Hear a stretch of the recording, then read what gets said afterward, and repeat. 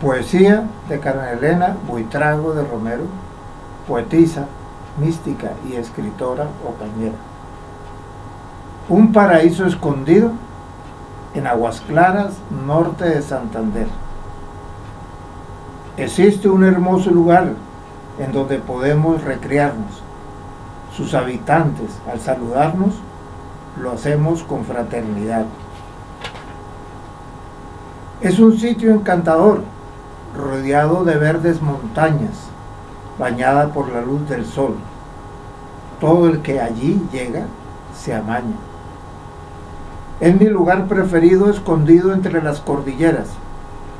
Hay un río serpenteando en medio de las cementeras. Su paisaje es muy hermoso. Cuando lo observo de lejos, en las alturas del espejo, lo encuentro más precioso.